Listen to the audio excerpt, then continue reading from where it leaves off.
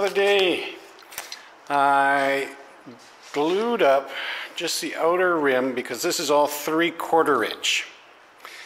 Then I'm putting it on quarter inch risers to connect the main spar for the rudder uh, and it's an inch and a quarter so a quarter inch on each side in there. So it's a nice big stock in there for the main rudder spar I guess you would call that now speaking of strength you've got that nice spar and I guess it's bigger and it's also going to be a bit of an airfoil because these are not um, the regular three quarter by quarter inch pieces of wood that we used before. This is plywood, quarter inch plywood that you actually bevel a bit of an airfoil into and it's one and a quarter by quarter I believe is what it is. It doesn't actually say anywhere. What did I have here? Yeah, one and a quarter I found by a quarter inch for, and you won't find T211 anywhere in your plans. So don't worry about that. But it's an inch and a quarter this way. So it matches up with a spar out there, but then it tapers down to three quarters of an inch for the outer rim. Now, you've got that quarter, one and a quarter piece of spruce on the inside, but then they want you to take and cut a slice all the way along because the hinge is going to be in here somewhere. So if that doesn't weaken it, what, who knows what does because that's one heck of a cut coming all the way down. So what I did, I drilled a bunch of 16th inch holes in mine in the appropriate place um, and what you do is all these lines that are on there, I don't know if you can see that. This is beveled down. This is beveled down. So you've got a little bit of a V all the way down, and that's to allow the rudder to move when it's against the tail fin, the vertical stabilizer. So it just gives that little movement in there, gives you space to, for the rudder to move. Um, so that's what these lines are. That's the beveling down. This one long cut all the way down here, and I can see it's for ease of cutting, right? Because you can just take the saw and just saw it out, but you're only using this last six inches for the hinge, and the rest of this is just two pieces of wood, basically. So I just drilled 16 inch holes in here. Um, bore that out a bit with my little vibrating saw and then put the saber saw in there and cut six inches. I did about six and a half to give it a little bit of play one way or another because we don't know where the final hinge placement is going to be until you have it in place. So that's what I did on mine. I'm not cutting the whole main spar there. And what it would have it be is a cut all the way along and then somewhere in here you're going to put the hinge. So I'm not doing that and I same thing here they have you cutting all the way up to put the hinge in here somewhere. The hinge is going to go about here so I'm just going to cut that piece out leave it solid there and leave it solid there. Um, for strength. Okay, I don't know if you can see it here. We've got some holes, little 16th inch holes drilled there. This has already been beveled on both sides. I drew a line all the way down and really just sanded that until I get it at a bit of an angle. I had a line drawn on this corner and I've got a line drawn there and so you just sand it till it gets down to about that bevel on both sides. So that's the first, I've cut the little holes in there. Then you take Tim's favorite vibrating tool and just start cutting out a little bit so that you've got a complete hole all the way through. And I won't bore you with all that because I can't do it with one hand. Then I just take my saber saw and cut a line. So bear with me. All right, so I've got it carved out there. And this isn't the right hinge. I got those ordered, stainless steel ones for in here. But just like that, it fits in there and I've got a little movement back and forth. If I need to move it a little bit more, I can just take the saber saw and lengthen that cut a little bit. But at least I'm not cutting right out the end on the short end here. On the back end, there's probably a foot six inches to a foot before the hinge actually fits in there. So that's weakening that quite a bit here. I've got about inch and a half that's actually in there. And again, it's all going to depend on the placement where it fits on the fuselage and everything. So they give you a little free space there. But anyways, that's how I did my little inset one. Again, a few holes. And I take your oscillating tool just to get a hole through there and then just take the jigsaw, saber saw and cut right along there. Alrighty. Okay, here's the plan for the rudder. I've got the outline of it. You can see it there with the background. I've got the outline done up. This little corner here This is three quarter by three quarter. This is one quarter by three quarter thick. That's this sitting on there like that. These two are one quarter by three quarters. And specifically I'm looking at this one right here coming into the main post here that is three quarter by one and a quarter thick. So it's the same, it's sitting up like this. This one's sitting here, there's no one to come here. All right, to see that visually, here is the one and a quarter wide by three quarter thick. That's that main shaft. Here's the corner of the rudder. I'm just carved out a little notch in there for the one quarter by three quarter to slip into, just so it doesn't move around. And then that will sit in there like that. I'm just gonna glue that up now so that you have that strength in there. And I just carved a little groove in there just so that this wouldn't move around and it's got something solid to go into. So it doesn't want to move. It's going to hold there when it's glued to this. It's going to add that stiffness to the whole top of the rudder there. Then there's going to be another one that's going to come in something like this and go from this corner up into this corner here.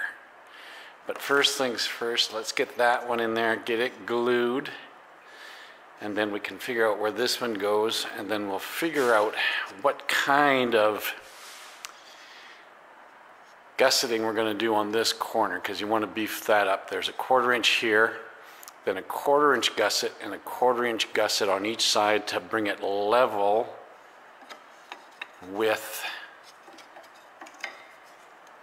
this so that it'll be all one piece across here. It will all be level with this. And then you're going to round this off, something the same shape as this, to match the vertical stabilizer will be like that as well. Right like that there. That's the top of the vertical stabilizer and that top of the rudder will sit in there where these curves match right here. So this will be cut away like that. All right. So let's try to explain this a little bit. This is the piece that I just glued in onto the rudder. So this is three quarters by one quarter thick. This is three quarters thick, three quarters by three quarter. This is the one quarter by inch and a quarter depth this way. So if you take this one quarter gusset with this one quarter strip plus a one quarter gusset on the other side of this strip, that'll equal three quarters. So it'll come flush on this side and flush on the back side. This 1 8 gusset, I have no idea what that's doing. This is another 1 quarter by 3 quarters that will join in this corner here. So it'll butt up against this and this, and this gusset will entrap this and this on both sides. This little 1 8 gusset right here, I see it doing no function whatsoever. It's only grabbing a little bit of this, and it's only grabbing a little bit of this, and it's not doing anything else. At the most, I can make this gusset a little bigger, the one quarter gusset, and get a larger area in there.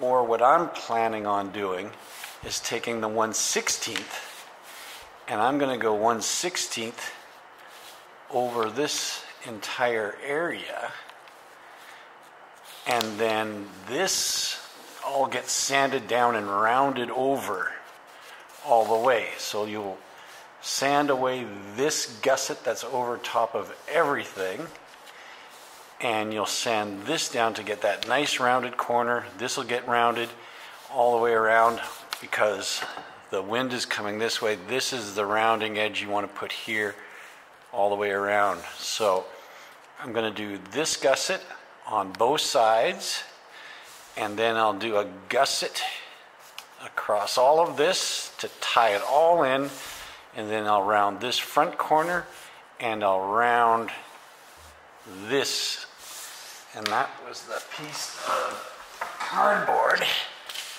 that I had there. So it's going to sit rounded like that on there.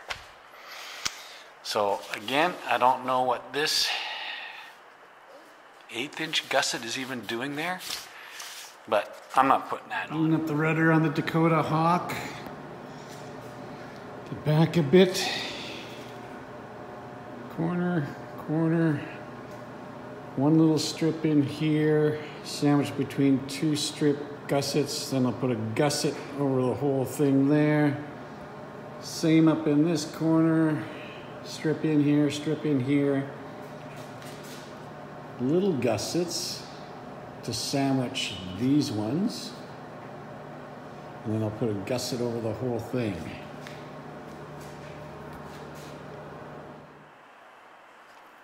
Another oddity. We've got a 1 16th piece of uh, plywood here. That just goes right above that. So here's a 3 quarter DHT1. That's this. We're putting bolts through there to hold the actuator for the rudder. The bolts will go through here and that will turn the rudder when they're pulled on it. This is one and a quarter. This is three six or three quarters. It doesn't show on here anything to raise this up with this level. It shows a large gusset on here that will go like that, but how do you go from this level to this level? There should be blocking in here to raise this up with this level. So blocking here to lift this up with this level. Um, the bolts will go through this way. That blocking will add a little meat on there as well. And it's going to look something like this is what I'm going to do. I'm just going to block it up to the top there. Um, taper it down so that it meets probably down here where the gusset is supposed to go on so that gusset will have a nice flat surface all the way up to that level there. So that's got to taper all the way down with that. All right, okay, the rudder is in place here.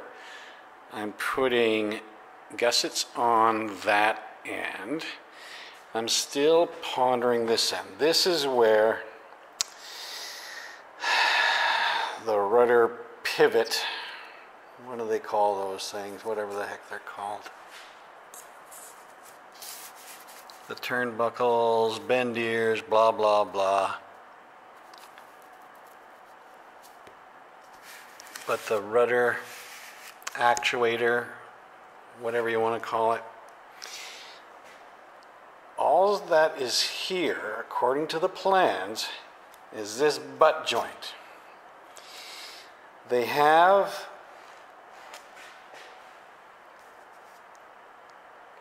a gusset over top, DHT, whatever this is, DHT 18. Um, both sides, access hole cut on this side only for the nuts where the rudder actuator is bolted to.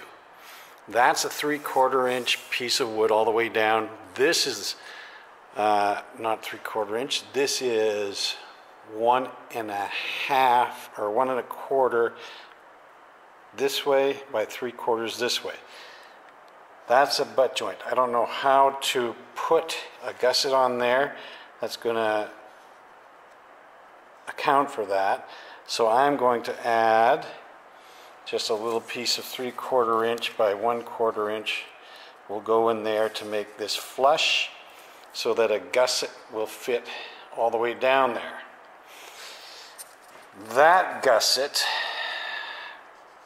is just going to sit on top of here and sit on top of here and that's the only bracing in this corner. There is no wedge bracing in here because the hinge goes right here. I was thinking, and is there anyone else with a Dakota Hawk out there, of taking a piece of quarter inch ply, obviously cutting right where that line is, and then putting the quarter inch ply all the way down like that. And this is quarter inch by one and a quarter, so it'll match right up with that and put that right in there. That way, you've got the butt joint here. You've got this joint that goes over both of those, and then the gusset will sit over all three this, this, and this, holding that whole corner together. To me, you know, we were talking about weakness of insetting gussets into just the three quarter, three quarter by wherever it's sitting there, talking about weakness of insetting it only uh, a 16th there for the gusset to sit in here. Well, this is where your main pivot is for that whole rudder. There is a lot of force on here wanting to twist this and twist that joint apart because that joint is a simple butt joint and that's it. So anything I can do, and I think I have to do, to try and beef this little corner up where the rudder actuator goes. Is there anyone out there that has any better ideas or has some more clarity on this? Because according to the plans, there's nothing there. There's your three quarter by one and a quarter, there's your three quarter by three quarter, and that's it. Other than there is a 1 16th inch of ply that goes right there, just a little thing to go on top. I'm imagining just to add some strength to the bolt holes where the where the nuts are. A little piece of 1 16th just sits on top of that 3 quarter. But boy, there is nothing in this corner to help beef that up. and the torque forces on that, that's your whole rudder right there is being torqued. So that whole weight of this whole rudder is being torqued right on this one little corner. It doesn't seem right to me. And that's why I'm going to add some 3 quarter inch by quarter inch just to get it up to here. What I might do is do some joinery and if I take this down a bit I can run the 3 quarter right over and do a lap joint maybe to help increase the strength of that joint. But then adding this quarter inch onto that I think will add a lot of strength. Obviously, that's just going to be cut off. And add that onto there as well, and then the bolts will go through this way, and that actuator is going to sit out here. Anyone have any thoughts?